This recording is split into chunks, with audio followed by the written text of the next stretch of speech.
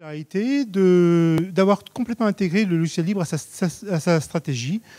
Euh, non seulement comme tout le monde en utilise, ouais, génial, waouh, qui n'en utilise pas aujourd'hui, mais surtout elle contribue de manière régulière ou ponctuelle à certains logiciels. Elle développe des logiciels libres, enfin certains logiciels libres.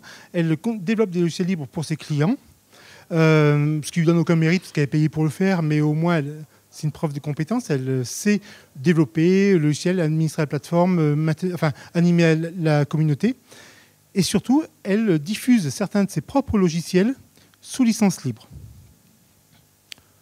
Et euh, je, comment dire, je suis un libriste depuis bien plus longtemps que, que que je travaille à CS. Et donc, euh, j'ai pu voir, je suis le principal auteur de la, gouvernance de CS en matière de logiciel libre. Et j'ai pu voir CS au fil des ans s'approprier le logiciel euh, libre, l'intégrer à sa, enfin, à sa stratégie, gagner en maturité. Et pour un quand je suis observateur de tout ça, c'est très intéressant parce que ça m'a permis d'identifier des choses qui fonctionnaient, qui ne fonctionnaient pas, des choses que les entreprises oublient souvent, ce qui fait qu'aujourd'hui, par exemple, nous conseillons certains de nos clients qui ne comprennent pas pourquoi ils ont fait un logiciel et qu'il ne marche pas. Pourquoi ça ne marche pas? On a publié un truc sur GitHub et personne n'utilise. Donc, hum,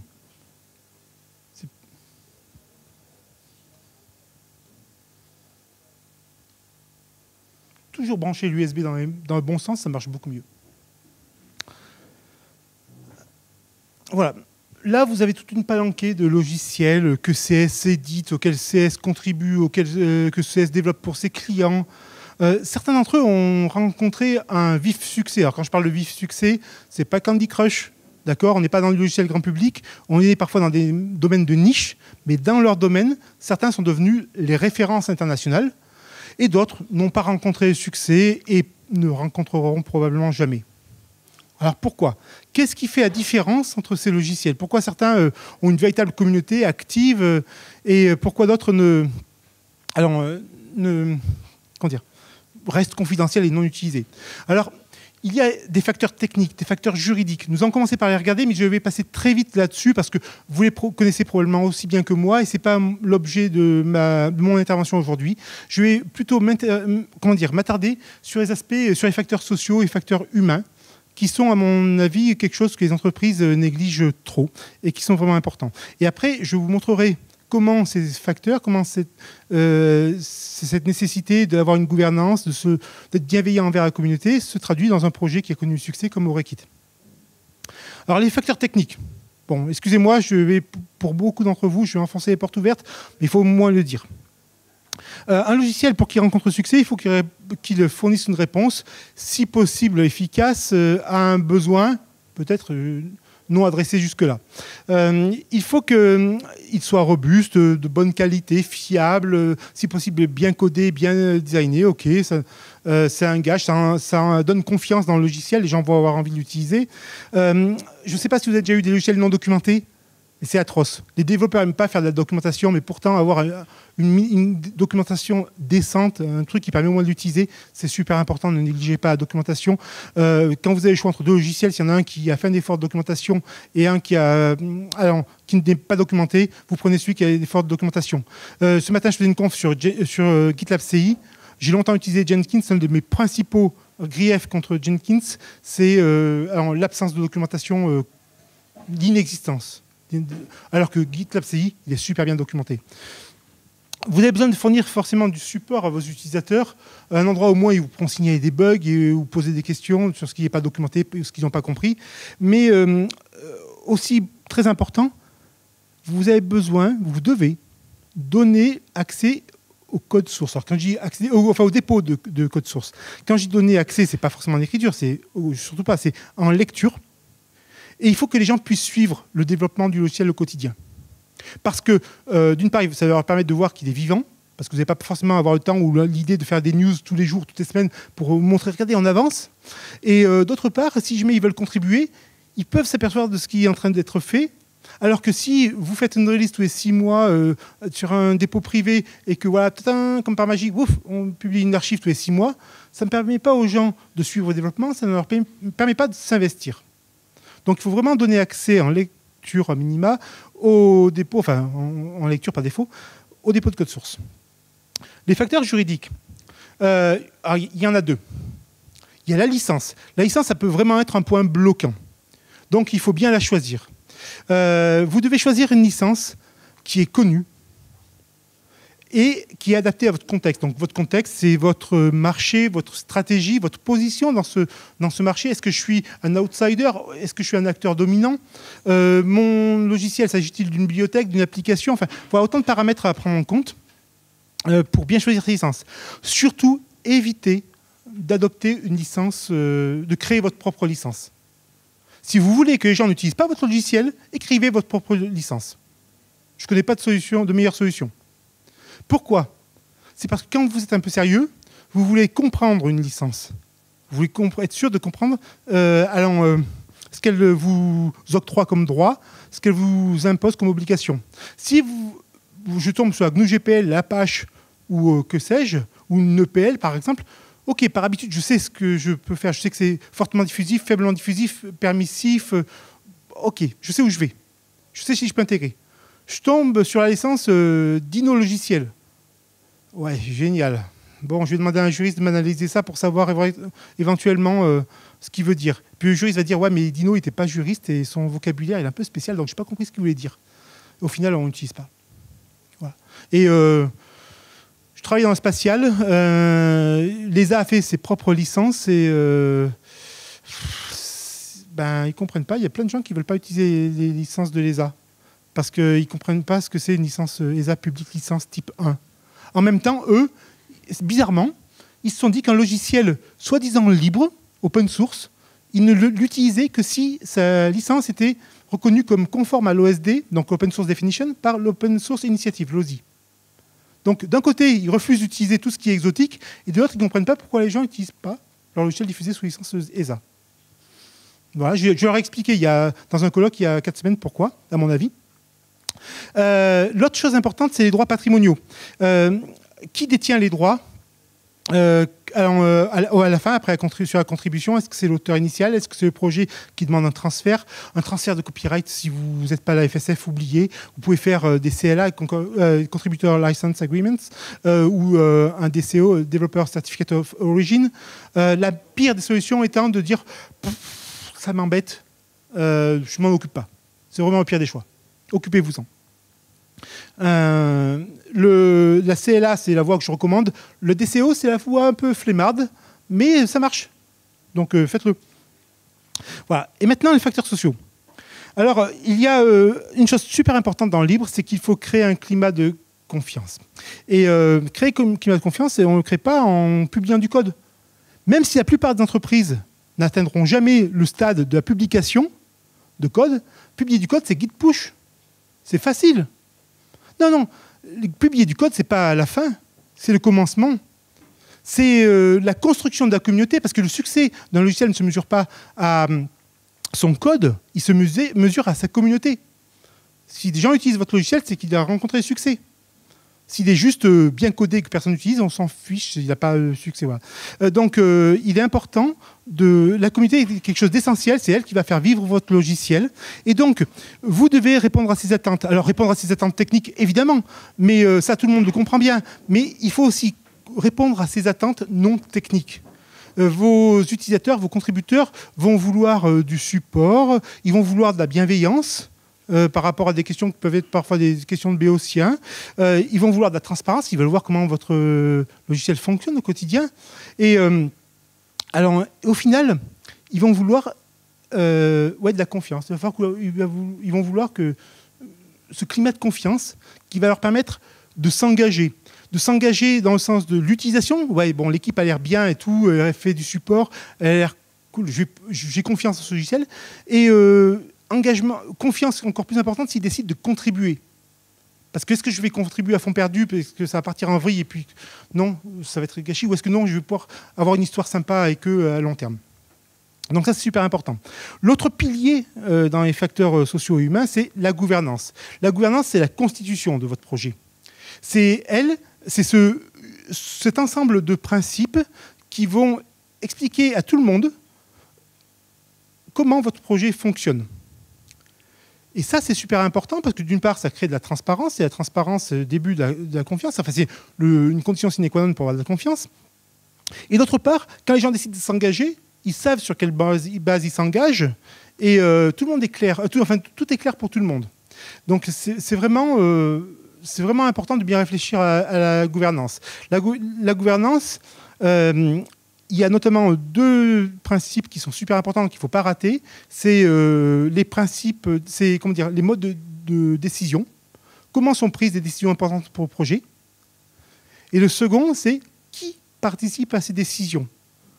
Si vous ne dites pas ça, vous allez créer de la frustration, de l'incompréhension. Euh, donc il faut le dire. Après, vous pouvez dire plein de choses supplémentaires. C'est euh, tiens, vous pouvez créer un code de conduite. Vous pouvez alors expliquer typiquement voilà, les contributions, euh, plein de choses comme ça. Comment, à qui appartient les, à qui les droits patrimoniaux au, final, par exemple?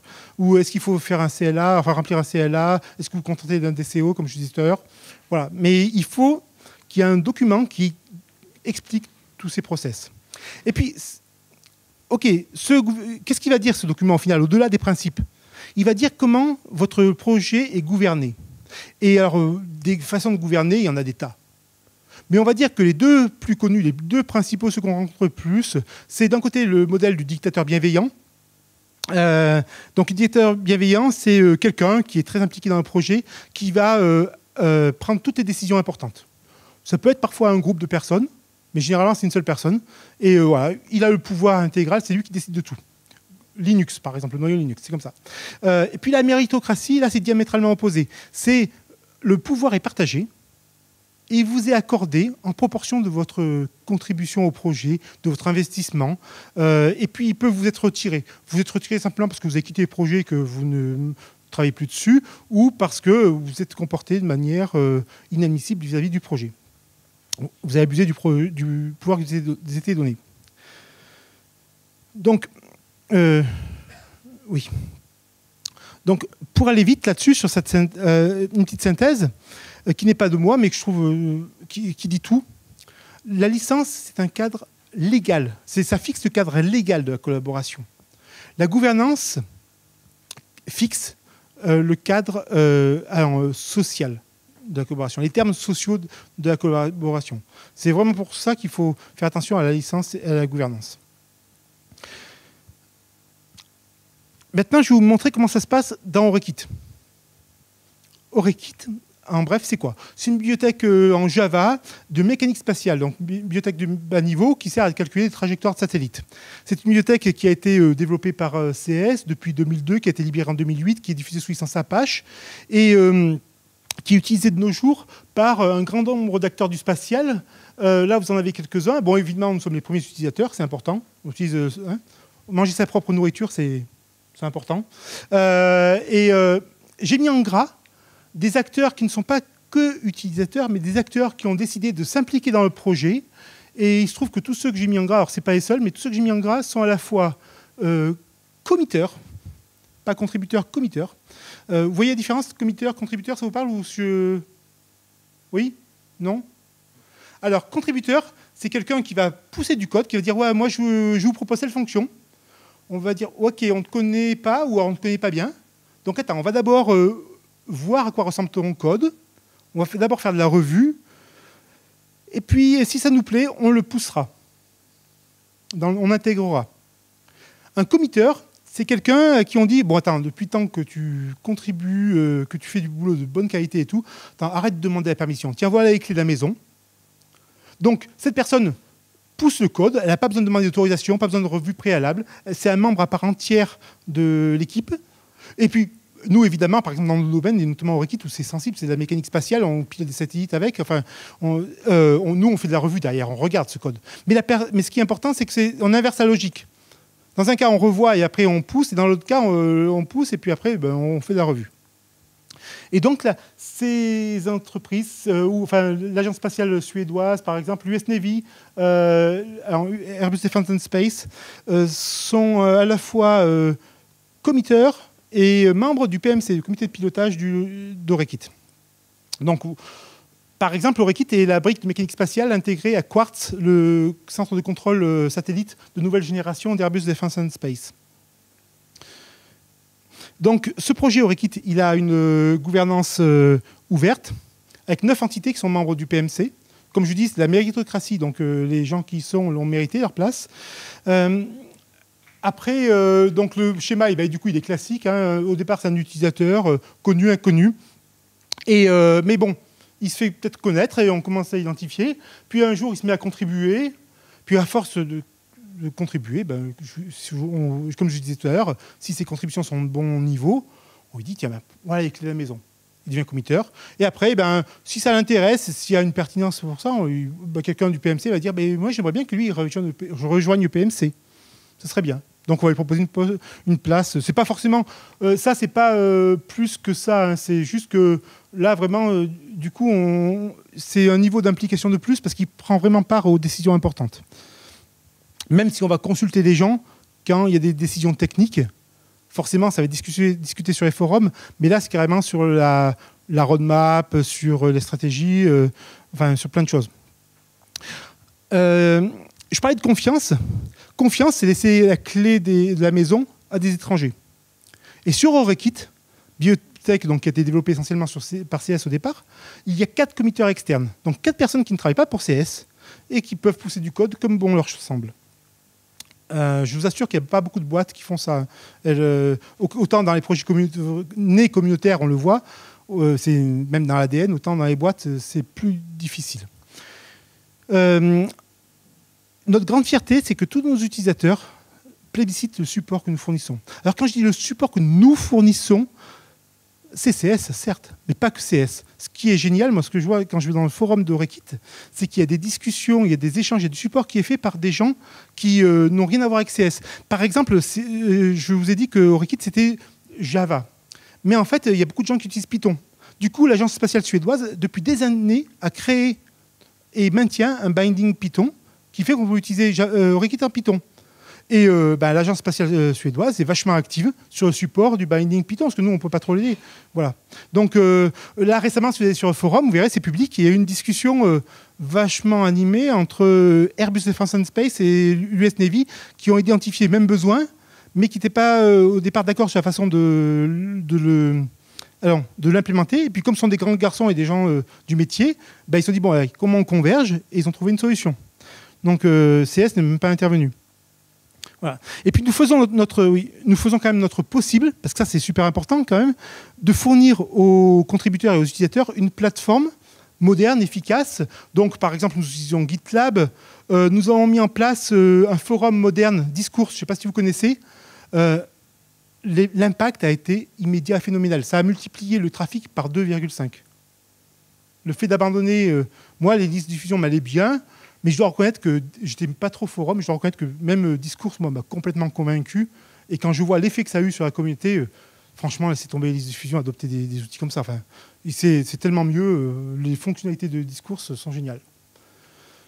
Euh, regardez, là, je fais quelques captures d'écran. Alors, je les ai faites il y a un mois parce que là, c'est, je ne sais pas si vous connaissez OpenHub. Vous connaissez? Il y a des gens qui connaissent? OpenHub, c'est une plateforme qui font du crowdsourcing.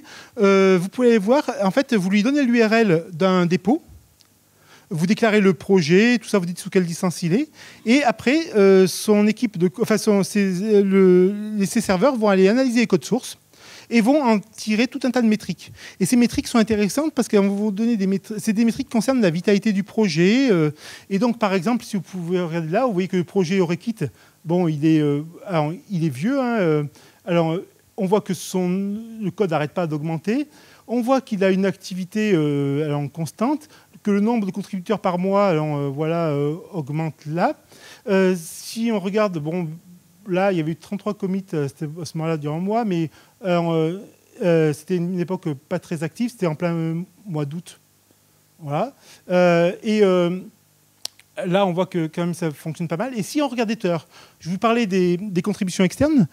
Evan Ward est un chercheur de l'US Navy. Euh, Petrus Vonen est donc un chercheur de l'Agence spatiale suédoise. Voilà. Euh, il se trouve que les autres euh, en sont de CS. ce serait fait aujourd'hui, ben, dans les plus récents contributeurs, vous auriez trois autres personnes qui sont externes à CS, qui viennent de l'Université du Texas, de l'Université technique de Berlin, et la troisième, je ne me souviens plus.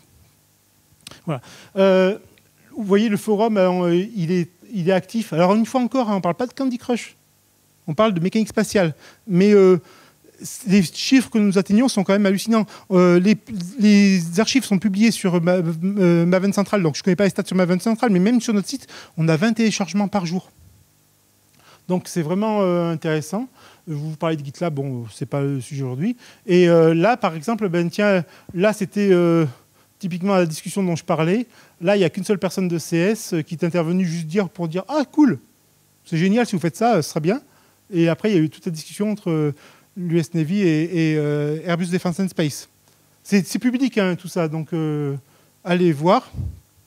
Voilà. Et aujourd'hui, euh, finalement, on, se rend compte que ben, le projet fonctionne bien, la communauté est active, que CS ne maintient pas seul l'outil, aussi bien au niveau euh, développement qu'au niveau support. Euh, c'est vraiment un grand succès. Et je pense qu'au-delà de la qualité du logiciel, si vraiment alors, le projet fonctionne aussi bien, c'est parce que CS a à cœur de, de toujours faire attention à la communauté, de toujours être bienveillante envers elle. Euh, de, quand des jeunes développeurs arrivent et qu'ils sont un peu expéditifs dans leurs réponses, je vais les voir, t'aimerais qu'on te réponde comme ça, toi? Non, t'aimerais pas. Hein bon, bah, essaie de d'être un peu plus rond dans tes réponses. Et puis, euh, comme sont des gens intelligents, ben, euh, je n'ai pas besoin de le dire deux fois. Puis même, il y a certains qui vont directement dire, ouais, bon, il faudrait que je précise mon, ma réponse. Et ça marche super bien. Et les gens sont ravis. Et donc, quand vous avez des industriels comme ça qui nous font confiance et qui adoptent un outil euh, et qui le font leur parce qu'ils ont leur mot à dire, ils, prennent part aux décisions, ils sont vraiment dans un climat de confiance, eh bien, c'est génial. Vous avez le, le libre qui vous donne le meilleur. Et il faut surtout, tous vos efforts doivent consister à entretenir et, si possible, améliorer ce climat de confiance. Merci. Euh, si vous avez des euh, questions, je serai ravi d'y répondre dans un peu de temps qui nous reste.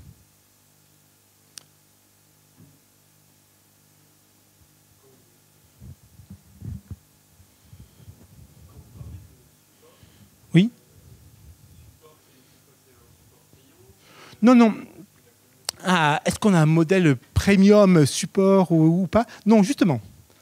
Alors peut-être qu'un jour, euh, c'est déjà arrivé même, que des boîtes nous demandent vraiment des choses très spécifiques euh, dont elles ne veulent pas forcément parler en public et tout, et qui nous demandent des prestations de ce type. Mais au contraire, notre objectif, c'est que tout soit public parce que d'une part, d'autres vont pouvoir intervenir que nous, que nous et peut-être que ça va engendrer des, discussions intéressantes euh, qui vont donner des idées, tout ça. C'est vraiment, c'est vraiment ça euh, l'objectif. Donc ce support, il, est euh, via le forum pour l'essentiel. Après, non, les prestations que nous pouvons faire, c'est plutôt des prestations soit d'études, soit de développement spécifique dans certains cas, soit d'intégration, de formation, mais, mais ce n'est pas sur le support que nous, que nous faisons ça.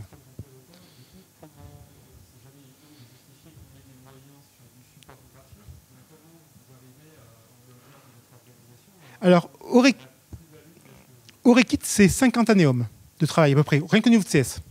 53 à peu près, c'est même nous estimons, je crois, pour être exact. Aujourd'hui, Orekit continue à nous coûter plus cher en développement que ce que ça nous rapporte. C'est dingue, on continue. Ça continue à nous coûter plus cher et on continue et personne au sein de Espace remet ça en cause. Et pourtant, je vous assure que mon boss, il a la tête sur les épaules. Pourquoi? Parce que nous avons une chance, nous pouvons mesurer, de manière très approximative, nous pouvons mesurer le retour sur investissement indirect. Parce que les formations, les développements spécifiques, les intégrations, ça ne paie pas euh, tout l'effort qui est consenti. Par contre, l'Agence spatiale européenne, il y a huit ans, nous a choisi comme contractant de premier niveau. Et euh, comme à cette occasion, elle a viré de ses, euh, sous-traitants historiques, ça a laissé beaucoup de monde sur le carreau et qu'elle nous, a mis la deuxième note, elle a été sommée de s'expliquer. Et dans une conférence publique, euh, et un le compte-rendu qui est public aussi, vous verrez qu'elle dit qu'elle a choisi CS, parce que CS a fait Orikit, euh, donc clairement CS a des compétences en Mecaspa, euh, que son code est public, et donc ils ont pu regarder la qualité de notre code et que c'est bien. Et que trois, on diffuse notre savoir-faire sous licence Apache et que c'est complètement compatible avec euh, leur euh, politique industrielle. Donc euh, voilà. Le fait que l'ESA nous ait choisi, ça fait qu'aujourd'hui on a une filiale en Allemagne et aux Pays-Bas de 70 personnes. Il y a quelques années, nous ne travaillions pas avec Airbus Defence and Space. Airbus Defence and Space a identifié Orekit, ils l'ont testé, ils se sont dit waouh, c'est au moins aussi bon que les briques propriétaires. Il y a même le DSST qui n'existe que dans Orekit, un algorithme assez avancé qui n'existe euh, réellement que dans cette bibliothèque. Et en plus, euh, l'équipe est super réactive, on a un meilleur support que les autres alors qu'ils ont euh, ils ont décidé donc d'intégrer euh, dans leur futur centre de contrôle. Et puis surtout, ils ont décidé de contribuer. Et aujourd'hui, Airbus, c'est un client important pour nous, Airbus Defence and Space. On entretient d'excellentes relations avec eux. Et euh, c'est aussi donc un chiffre d'affaires euh, important. Euh, et l'ESA, bah, du coup, on a commencé à travailler au départ en Allemagne avec eux, puis aux Pays-Bas. On travaille de plus en plus avec l'ESA en Italie toujours le logiciel libre, notamment Rekit, mais pas que, aussi ce que nous faisons dans le traitement d'images, choses comme ça, euh, ben, font qu'on est identifié comme euh, des gens compétents sur les domaines métiers, mais aussi euh, dans le libre. Et donc, voilà, ça plaît complètement. Et donc, ça nous fait un volume d'affaires important qui fait que si on réalise, si on regarde un petit peu tout ce que ça nous a apporté comme notoriété, les gens aujourd'hui savent ce qu'est Orekit. Et dans la, mécanique, dans, la mécanique, spatiale, ils ne peuvent pas ignorer. Et alors, à partir du moment où ils savent ce qui est Orekit, ils savent qui est CS. Et ça, c'est précieux. Dernière question?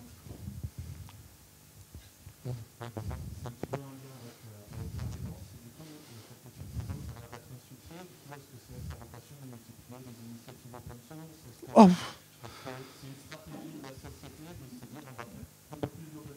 CS est une, une, une, ESN, une société de services en numérique. Elle ne s'interdit aucune stratégie. Elle est opportuniste. Quand je dis opportuniste, ce n'est pas péjoratif. C'est l'intelligence d'une boîte, de savoir percevoir ses marchés et de trouver la meilleure stratégie. Donc en fait, CS, depuis longtemps, a intégré le libre à sa stratégie.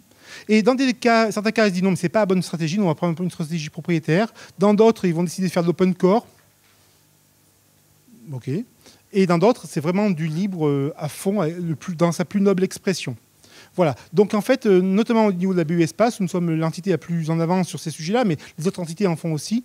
Euh, c'est vraiment quelque chose qui est complètement intégré à notre stratégie. Et on a un compte sur GitHub sur lequel on publie des outils comme SafeScale, par exemple, mais qui est un outil de gestion multi-cloud d'infrastructures multi-cloud, parce que l'ESA, par exemple, a mis en place des, plateformes de, services pour les euh, chercheurs pour, les images Sentinel-2. Et eh bien, tout ça, cette plateforme s'appelle RUS. Le RU, eh RUS tourne sur euh, nos outils de gestion multi-cloud avec 1500 VM et tout ça. Voilà. Donc, c'est... Euh, c'est pas la question aujourd'hui, non. un développeur que je citerai pas m'a demandé il y a une demi-heure, m'a dit tiens j'ai écrit un script là, je voudrais libérer, comment je m'y prends? Bah, je vais expliquer. Parce qu'on a un comité de pilotage du logiciel libre, on a une gouvernance en interne avec des procédures de libération, des procédures de euh, contribution. Nous avons voulu que ce soit le plus fluide possible, euh, donc nous avons fait en sorte que ce soit léger. Mais en même temps, nous voulions absolument, je voulais que sécuriser les choses pour CS, mais aussi pour les gens, qu'on ne puisse pas un jour, au détour d'un changement de politique, d'une disgrâce, de quelque chose, reprocher à quelqu'un d'avoir fait quelque chose il y a cinq ans. Donc tout est euh, tracé. Et quand la personne reçoit le, feu vert, euh, c'est assez, le processus a beau être assez fluide, et eh bien euh, quand même derrière le feu vert, c'est le directeur juridique et directeur euh, technique de CS qui le donne. Donc c'est blindé. On peut pas, Donc ça fait partie complètement de notre stratégie. Et au sein de la BU Espace, 9 projets sur 10 sont sous GNU Linux, deux tiers des développeurs, si c'est trois quarts, travaillent nativement sur GNU Linux. Donc voilà, c'est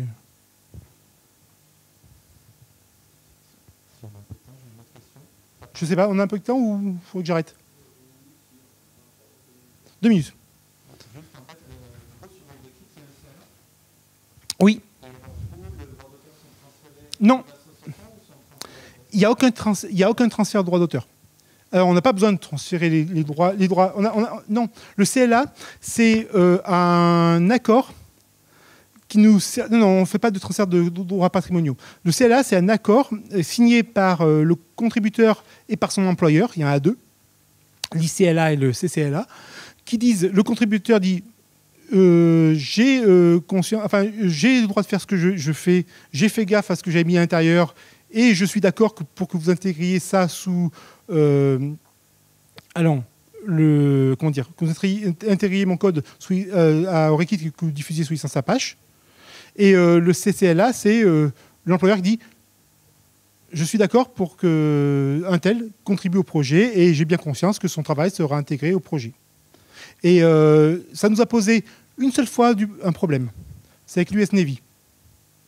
L'US Navy nous a dit hum, notre chercheur, son travail, il est dans le domaine public parce que c'est des fonds en fédéraux. Donc on ne peut pas signer quelque chose d'aussi restrictif que votre CLA, qu'une licence Apache. Alors ça nous a beaucoup amusé de savoir que la licence Apache était perçue comme restrictive, mais OK. Et donc on leur a demandé, bah, écoutez, rédigez-nous dans l'esprit de, ces accords de contribution quelque chose qui corresponde. Et donc, ils nous ont envoyé des. Les avocats du SNV nous ont envoyé un document disant que ce chercheur-là était autorisé dans le cadre de son travail à contribuer à Orikit et, et que, alors, euh, et que comme c'était dans le domaine euh, public, parce que fonds fédéraux, eh bien, euh, ça pouvait être intégré à Orekit. Voilà. Oui. On n'a pas besoin euh, de... Quand on joue vraiment le jeu et tout ça, la, FSF le fait parce qu'elle veut être le rempart. Elle veut pas qu'il y ait de maillon faible, elle veut pouvoir se défendre complètement. Mais le jour où la FSF se mettra à déconner, plus rien ira dans le libre. Donc ce n'est pas un problème de transférer ses droits patrimoniaux, son copyright à la FSF, ça pose pas problème. Une entreprise, qui sait? Qu'est-ce qu'elle veut? Qu'est-ce qu'elle fera dans trois ans? Je ne sais pas. Ça, évitez le, transfert de copyright. Évitez. Merci, mais je crois qu'on a terminé. Ils n'ont plus de bande. Merci.